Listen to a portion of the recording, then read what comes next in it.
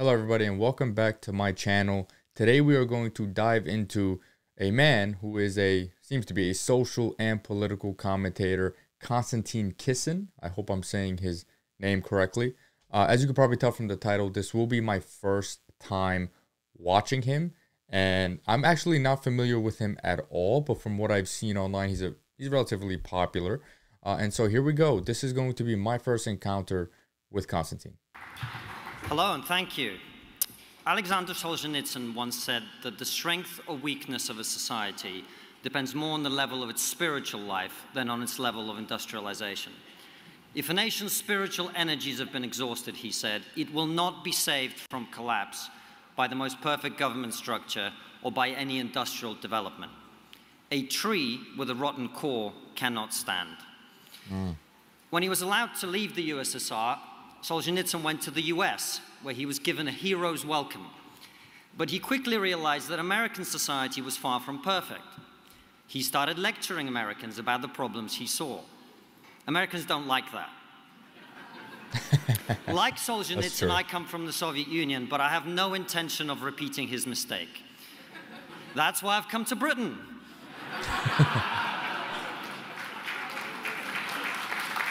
He's funny too where you love being told what's wrong with you by foreigners. but I do have to be honest. Six months ago, when Jordan and Philippa asked me to come here and speak at ARC about the importance of audacity, adventure, and a positive vision for our civilization, I was honored and delighted. But as I stand here today, after watching crowds openly celebrate mass murder on the streets of our cities, Mm. After watching the police spend more time debating Islamic theology on Twitter than enforcing the law, I'm starting to lose faith. I don't know how long our civilization will survive. For years now, many of us have been warning that the barbarians are at the gates. We were wrong. They're inside. Now, look, I'm not going to be all doom and gloom. There are positives as well. I mean, say what you want about Hamas supporters, at least they know what a woman is.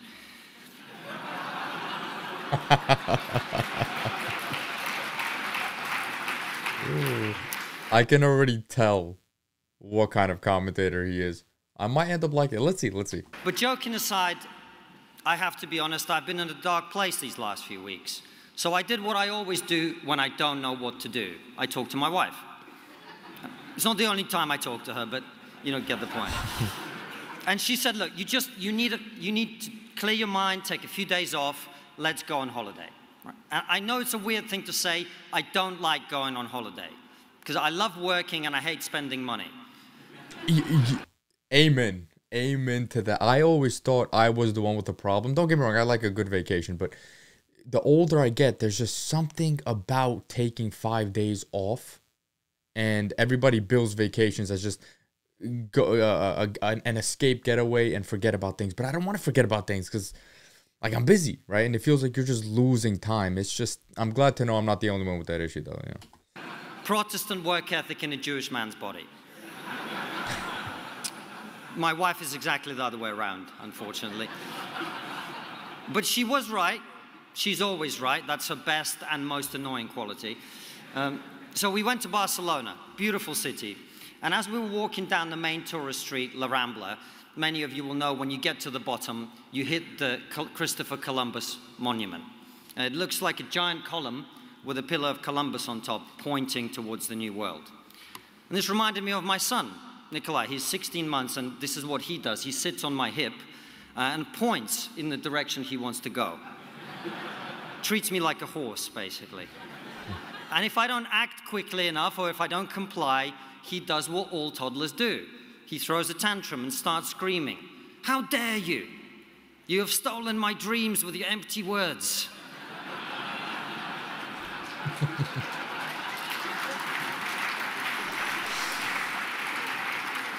and when he does, we read him a story and put him to bed. We don't give him a standing ovation in front of the UN.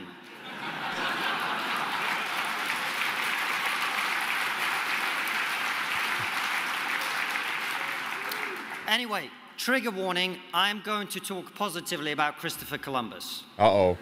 I know uh -oh. he committed some pretty sizable microaggressions. but he also changed the world. Do you know why he changed the world? Yeah, he tried to reach India and by accident discovered America. But why go west to India? Europeans had been trading with India and China for centuries via mm. the Silk Road. Why risk your life to go out on a limb?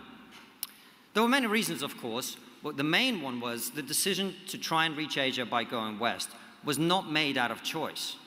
Europe was desperate. Only a few decades prior, in 1453, the Ottomans sacked Constantinople and they cut Europe off from the mm. Silk Road. The West was facing a huge challenge and a new threat, no smaller than the one we face today. And like us, what they needed was another way. But when Columbus took his idea to go west to India, to the kings and queens of medieval Europe, they laughed at him. They didn't laugh at him because he was some misunderstood genius. He wasn't Galileo. They laughed at him because he was wrong. If you go out in the street and ask a random person why Columbus discovered America, they'll tell you he worked out that the earth was round. Not true. By the time Columbus set off on his voyage in 1492, people had known the earth was round for two millennia. Mm. There's probably more flat earthers now than there were in the 15th century. That, God bless that, the internet. That, the, there's a lot of, and every other day, and it's not like I watch these things, so the algorithm is a bit weird, but every other day I'm seeing videos about flat earth, and it's not something I've dove into, so I'm going to excuse myself from making any any claims. I know it's widely accepted that the earth is round. So once again, I'm going to excuse myself from that. But yeah, that's pretty much the accepted theory. But I'm seeing a lot more of flat earthers. So I don't know, maybe I need to look into it in the future, right? The reason Columbus discovered America is not that he'd worked out that the earth was round. The reason is that he massively underestimated the size of the planet. They were right to laugh at him. He was wrong. But he took that wrongness, he persuaded 90 other men to get into three boats smaller than the size of this stage and sail into the unknown. And he persuaded Queen Isabella of Castile and King Ferdinand of Aragon to fund his voyage. The moral of the story is it doesn't matter how wrong you are as long as you've got rich friends.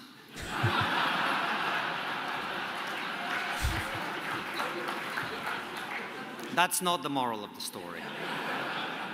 The moral of the story is the history of our civilization was not made by people who always got everything right. It was made mm. by people who'd made mistakes too. It was made by people who dared to believe that they could solve the problems they faced. The story of the West is a story of audacity. The big debates of the last decade, the culture war, the polarization, are about one thing and one thing only the future. There are people like us in this room who believe that our future is to be prosperous, powerful, and influential. We are the majority. But there are also some people whose brains have been broken by an excess of education, who believe that our history is evil, that we do not deserve to be great, we do not deserve to be powerful, that we must be punished for the sins of our ancestors. Yep. To them, our past is abominable, abominable, our present must be spent apologizing, and our future is managed decline. My message to those people is simple. How dare you? You will not steal my son's dreams with your empty words. I don't know if he was intentionally alluding to what's that little Swedish girl uh, that gave that speech at the I think it was at the UN. The how dare you girl. I forget her name, but yeah, the annoying one. I don't know if that's a, a, a little jab at her, but I hope it is. But Jordan is right. We need a positive message too. So here it is. From the dawn of time, human beings have had to work to make the world a better place. We captured the mystery of fire. We invented the wheel. Today, we build buildings that would shock and awe almost every human being that has ever lived. We split the atom. We spliced the genome and we connected the world through microcomputers that fit in our pockets, that allow us to do amazing things. This morning, I destroyed someone on Twitter with facts and logic from the toilet. It's magic.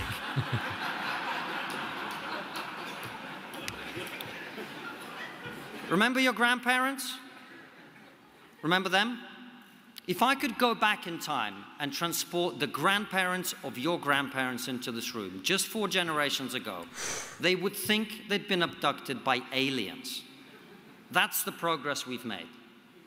We haven't made that progress by whining and acting like victims. Mm.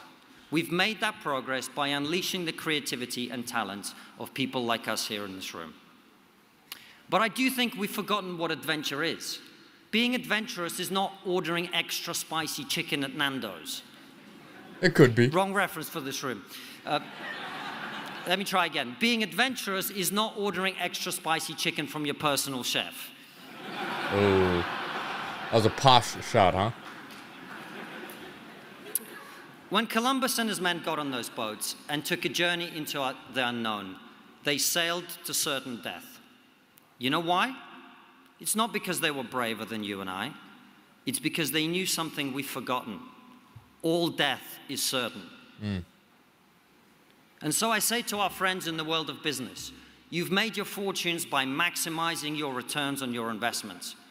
We are in the fight of our lives. There is no greater return on your investment than to protect and preserve our civilization.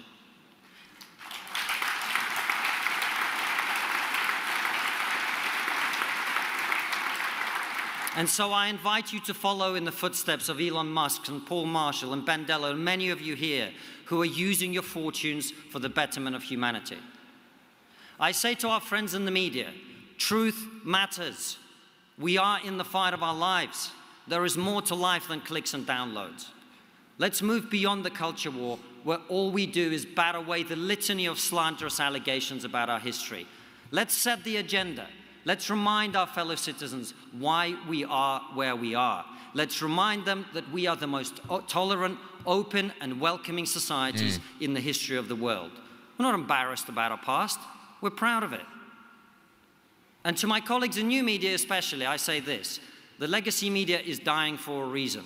They cannot be saved, they cannot be reformed. Absolutely. Let's stop complaining about them Absolutely. and start building the media empires of the future ourselves.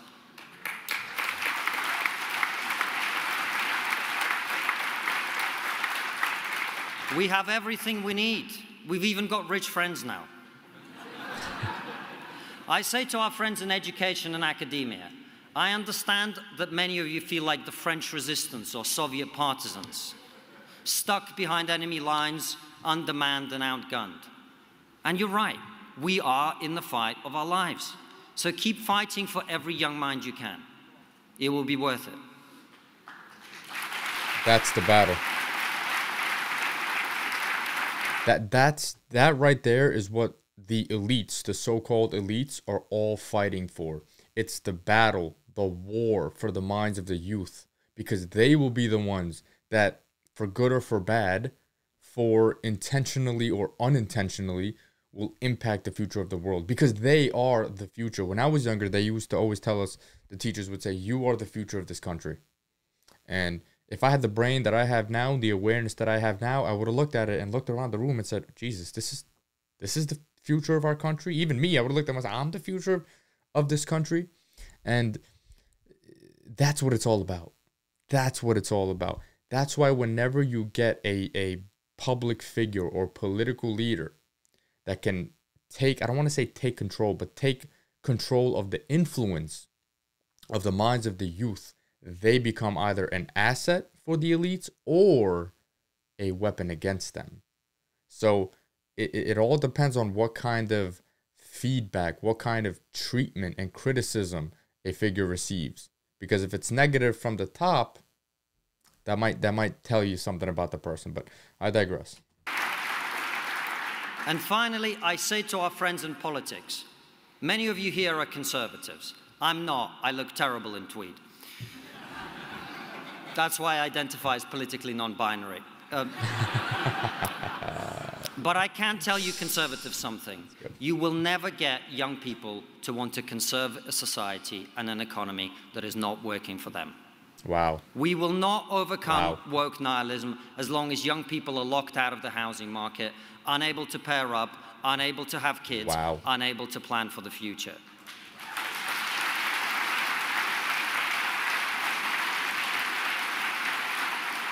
I know it's difficult, and I know that whoever solves the housing crisis may well pay the price at the ballot box.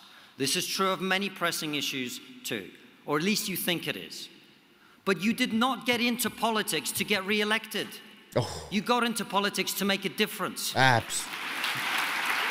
Yes. Yes. We are in the fight of our lives. And if courage means anything, it means doing the right thing and being willing to take the punishment if you have to.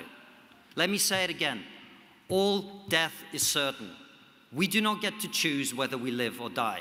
We only get to choose whether we live before we die. Thank you very much. Oh.